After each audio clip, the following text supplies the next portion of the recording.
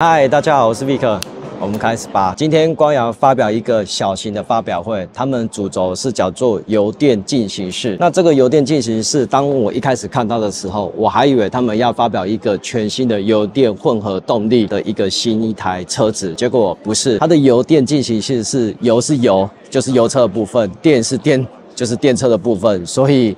我误会他了，不过没关系，这个是我个人的一个观点。但是最重要的是，今天到底是要发表什么新东西呢？我们重点的资讯带给大家。这次油电进行式呢，在电车的部分呢，他们主要是提供了一个优惠方案。那这个优惠方案，他们叫做轻移动。八八立即省，并且针对不同的车种，他们提供了不同的优惠时数，有三十六啊、四十二啊到四十八个月。它其实就是一个折扣的方案，有点类似我在买手机的时候，是不是会搭配一个月租方案？而这个月租方案，有时候我们是不是还会有一个回馈的折扣费用给？用户嘛，对不对？这次发表会，他们有针对不同的一些需求呢，他们有提供的低用量、中用量跟高用量，再搭配这个轻移动八八 D 集省，你可以发现到原本月付要多少，去折掉这个八十八块，它就换来的一个优惠的月租费给大家，就是针对不同的使用者，然后提供不同的方案给各位。那接下来是油车的部分，也算是这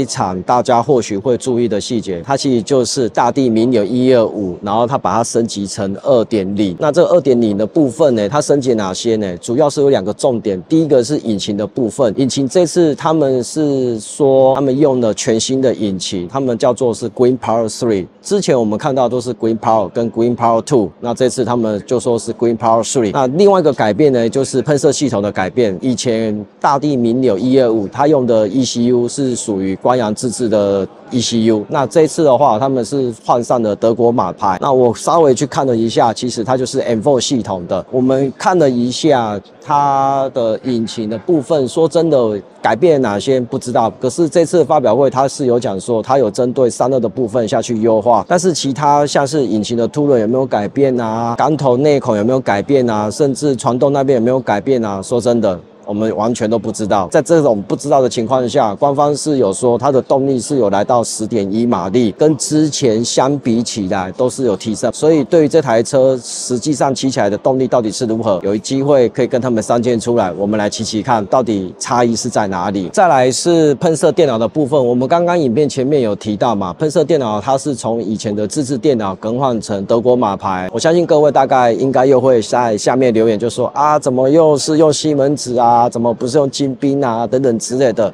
其实说真的，我跟各位讲，用哪一个电脑，其实对我来讲都没差。我最大的在意点就是，不要再发生容易熄火的状况。哦，这部分呢是我们所有消费者最希望的，也就是说它的妥善率是可以更好的。当然，这次换掉光阳自制的电脑，换成西门子 M4 的系统，妥善率会不会提高呢？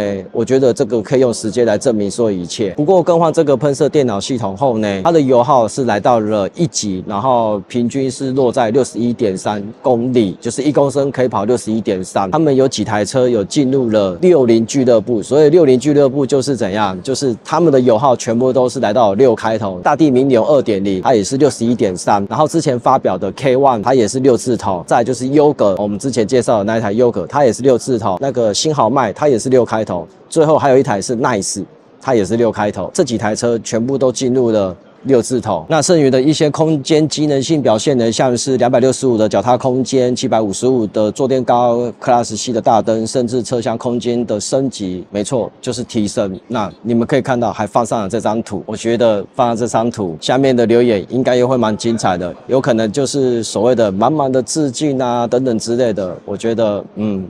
一定会有这些留言产生。好啊，那以上就是这次发表会的一些重要资讯。那接下来我有一些看法，各位有没有发现到，在大地明年二点零？你仔细看它一些外观，跟它一些规格，其实跟 K One 很像。你从脚踏空间来看，你也很像；你从车厢空间来看，也很像。引擎系统来看，Green Power 二升级到 Green Power 三，然后电脑也是用马牌的电脑 M4 的，然后从原本的九点八变成十点一。当然一定是有优化，只是优化是优化在引擎上面呢，还是优化在油图上面、点火上面呢，还是优化在传动上面，通通都不知道。说真的，对于消费者来讲，我自己的感。感觉啦，到底要选择哪一台？有没有觉得有时候很难选择？不要讲各位啦，前阵子我有一个朋友，他们要买车的时候，他们也是同步去看了我们的频道影片，当然他就打电话给我跟我讨论，他绕了一大圈，看来看去，他面临到了就是选择性障碍，因为他在乎的是车子的机能性，它虽然是很重要，但是它更重要的是车子的妥善率是在哪里？这部分呢，是我们必须要去注重的。那其他车种会不会有呢？也是都会有，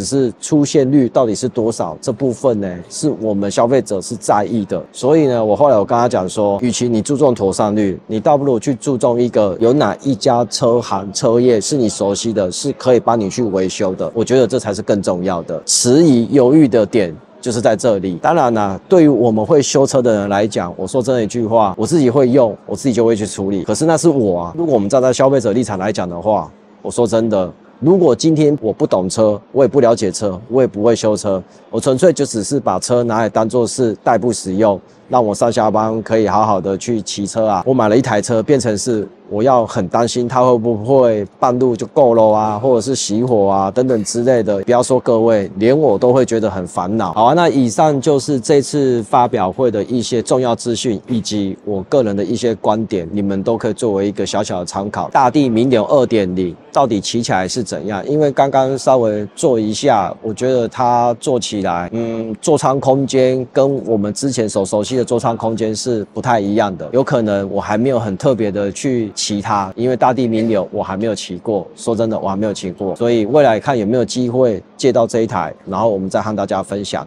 OK，那今天的影片就到这里了，很感谢你收看，喜欢我频道的话记得按赞、订阅、分享，小铃铛记得打开来，我们下一次影片见，拜拜。